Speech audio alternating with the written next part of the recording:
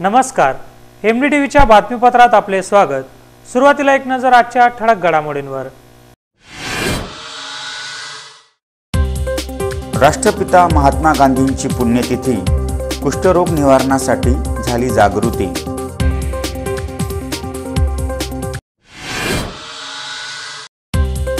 वाहतूक सुरक्षेसाठी नंदुरबारात अल्पवयीन वाहन चालकांवर आरटीओची कारवाई.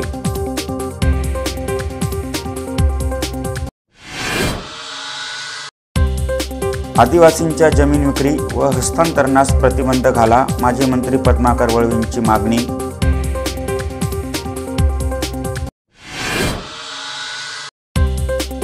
डी आरमध्ये वार्षिक पारितोषिकांचे वितरण आणि निरोप समारंभ मान्यवरांची हजेरी.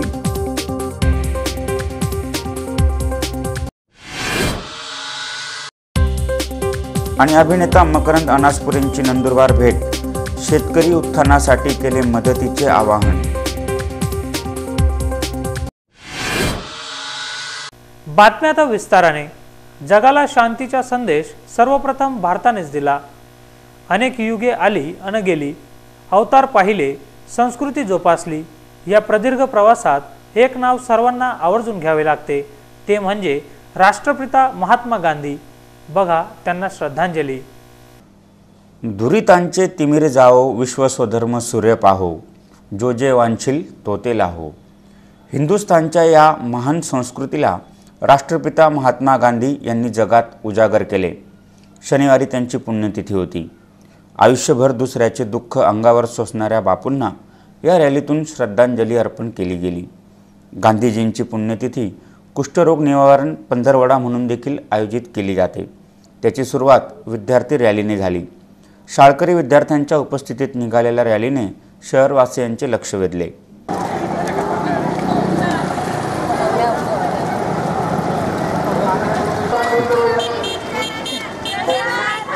कुष्ठरोगाचा सल्ला द्या नियमित उपचाराचा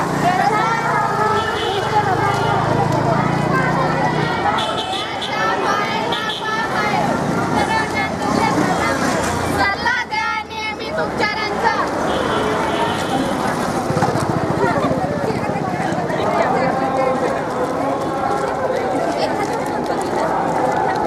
हा दिवस कुष्ठरोग निर्मूलन दिवस त्यामुळे आपल्या भारतातून या कुष्ठरोगाला कायमचा आखला रुग्णशोध उपचार.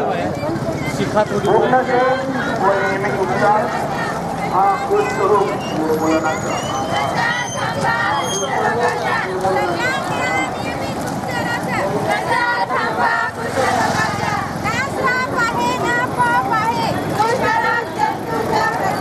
एकही कुष्ठरोगी देशात नसावा म्हणून शोध मोहीम राबवली जाणार असल्याची माहिती यावेळी देण्यात आली.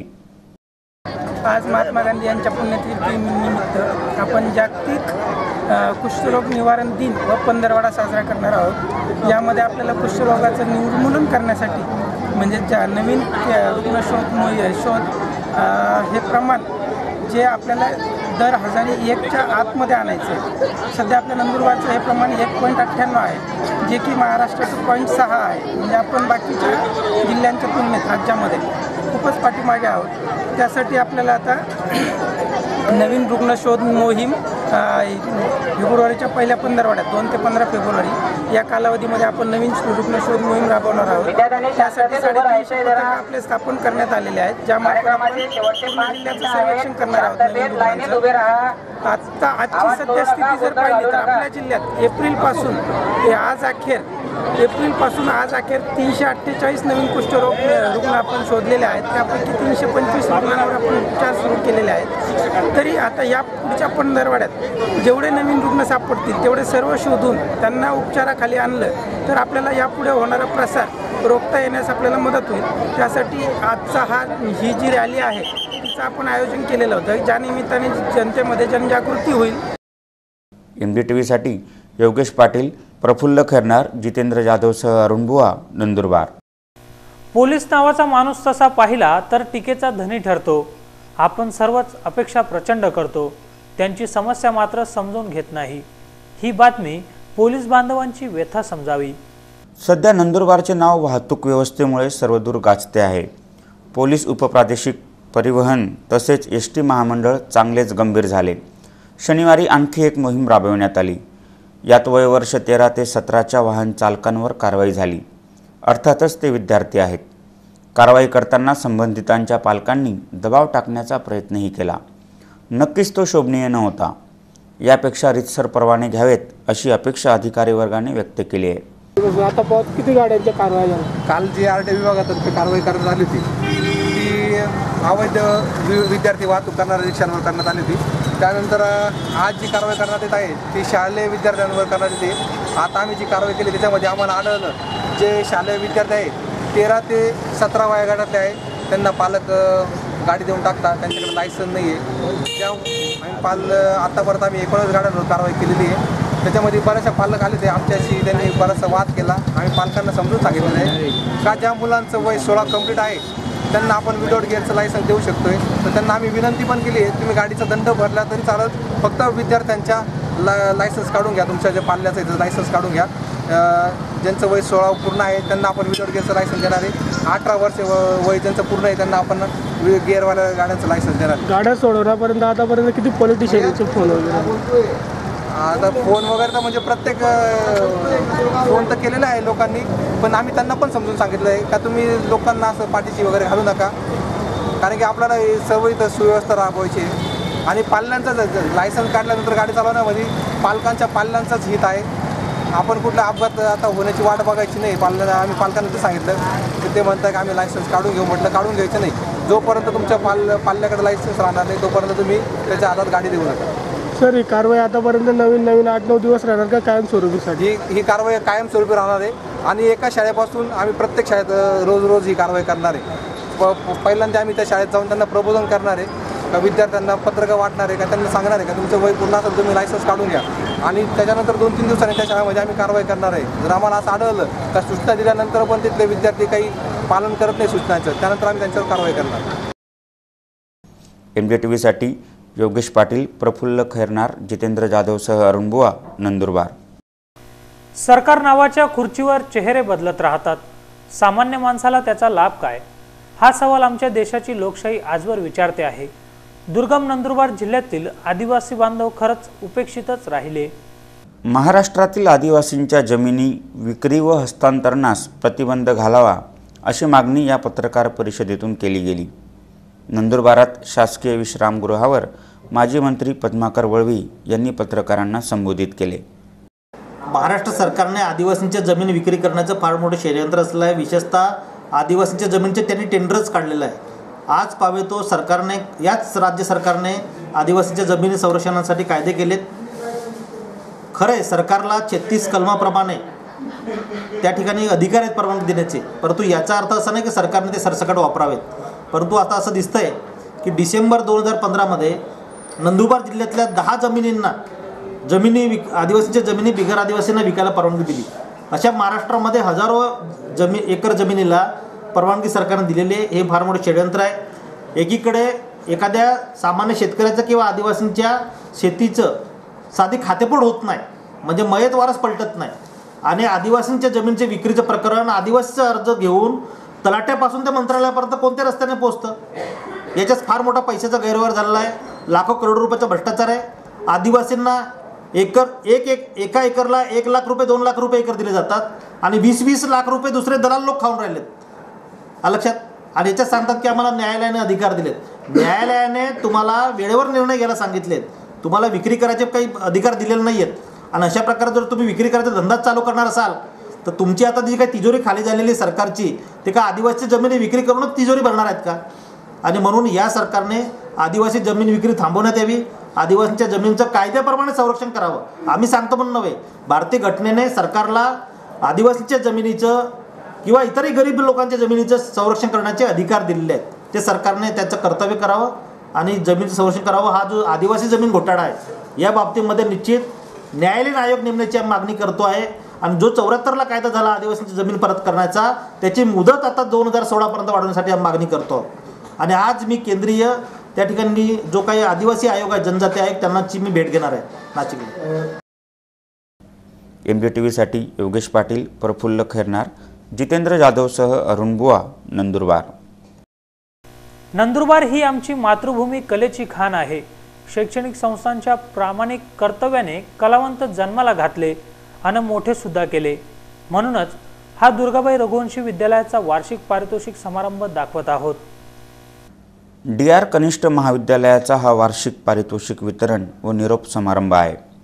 संस्था उपाध्यक्ष नरेंद्र सराफ अध्यक्षस्थानी तर श्रीयुत विजय चौधरी प्रमुख अतिथी म्हणून उपस्थित होते.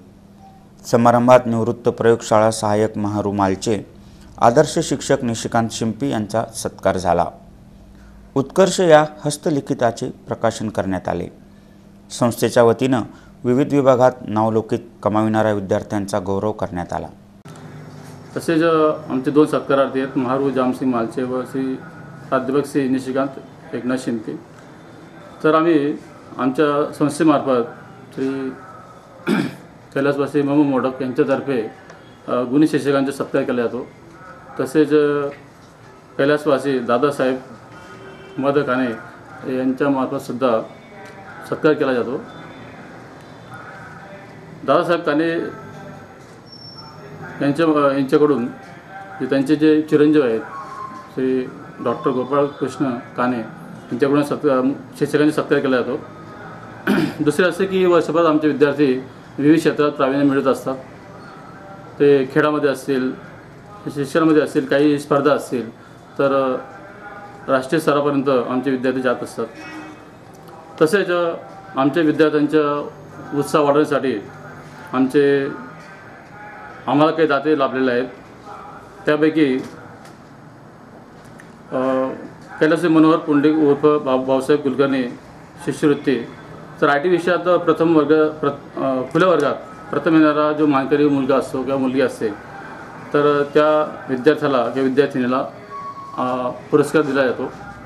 तर या पुरस्कार स्वरूप असं आहे की बँकेत एक लाख रुपये डिपॉझिट ठेवल्यावर त्याचे जे व्याज मिळतं वर्षभराचं ते साधारण नऊ हजारच्या आसपास रक्कम आम्ही त्या विद्यार्थ्याला देत असतो. एम डी टी व्हीसाठी योगेश पाटील प्रफुल्ल खैरनार जितेंद्र जाधवसह अरुण बुवा नंदुरबार. पडद्यावर दिसणारी दृश्य तशी खरी नसतात. माणसाला जीवन जगताना बऱ्याच वेळी त्याची अनुभूती मात्र येत असते. चित्रपटातील कलावंत त्यामुळे अनेकांच्या गळ्यातले ताईत बनतात. महाराष्ट्राच्या सुपरहिरोची बातमी आहे. भूसनळ्या तुझ्या मायला तुझ्या.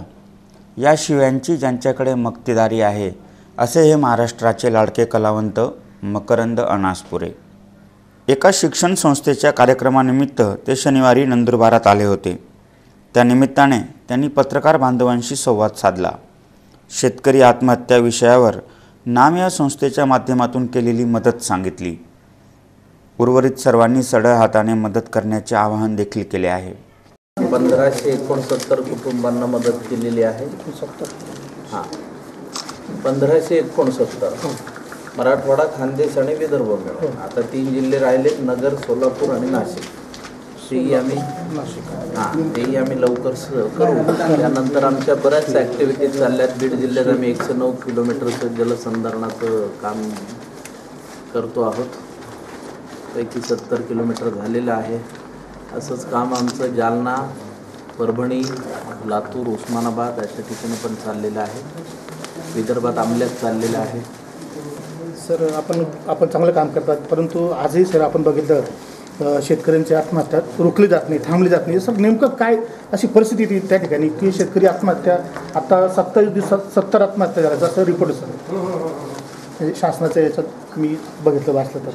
त्याच्यावर बारकाईनं विचार केला पाहिजे जे शासन व्यवस्थेने हे का होतंय काय नाही? त्यांनी शोधून काढलं पाहिजे आणि पूरक मदत केली पाहिजे. सर आपल्या नाम फाउंडेशनच्या माध्यमातून इकडे खानदेश स्तरावर खानदेशमध्ये काही खानदेशमध्ये आपण काही मदत केली. आता इथे ग्रुप जोपर्यंत व्हॉलेंटियर्सचं जमत नाही डेडिकेटेड व्हॉलेंटियर्स लागतात. आपली मोहीम काही पैशांची नाही. डेडिकेटेड माणसं जोपर्यंत मिळत नाही तोपर्यंत चळवळ मोहीम चांगल्या पद्धतीनं होऊ शकत नाही. त्याच्यामुळे खानदेशामधली चांगली टीम एकदा तयार झाली की मग खानदेशातही आपल्याला काम वाढवता आणि कसं आहे की आपल्याकडे लोकांचे पैसे आहेत ते लोकांपर्यंत व्यवस्थित पोहोचवणं ही आपली गरज आहे. त्यामुळे ह्याला काय खूप व्हॉलेंटियर्स मिळणं इतक्या उत्स्फूर्तपणे मिळणार नाहीत कारण पैसेच नाही पैसेच त्यामुळे ज्यांना मनापासून हे काम करायचं आहे असे लोक आम्हाला जॉईन झाले की हळूहळू हळू आम्ही व्याप्ती वाढवतोय सगळे सध्या मदतीचा ओघ कसा आहे सर. चांगला आहे. आतापर्यंत वीस बावीस कोटी लोकांनी दिले. एम डी टी व्हीसाठी योगेश पाटील प्रफुल्ल खैरनार जितेंद्र जाधवसह अरुण बुवा नंदुरबार. शेवटी पुन्हा एक नजर आजच्या ठळक घडामोडींवर. राष्ट्रपिता महात्मा गांधींची पुण्यतिथी कुष्ठरोग निवारणासाठी झाली जागृती.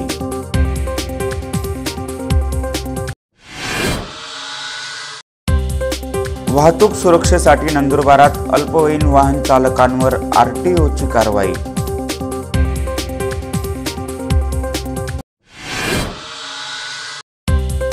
आदिवासींच्या जमीन विक्री व हस्तांतरणास प्रतिबंध घाला माजी मंत्री पद्माकर वळवींची मागणी.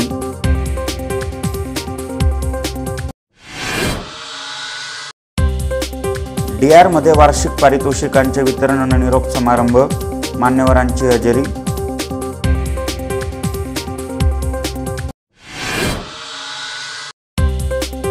आणि अभिनेता मकरंद अनासपुरेंची नंदुरबार भेट शेतकरी उत्थानासाठी केले मदतीचे आवाहन. हे होते आजचे बातमीपत्र.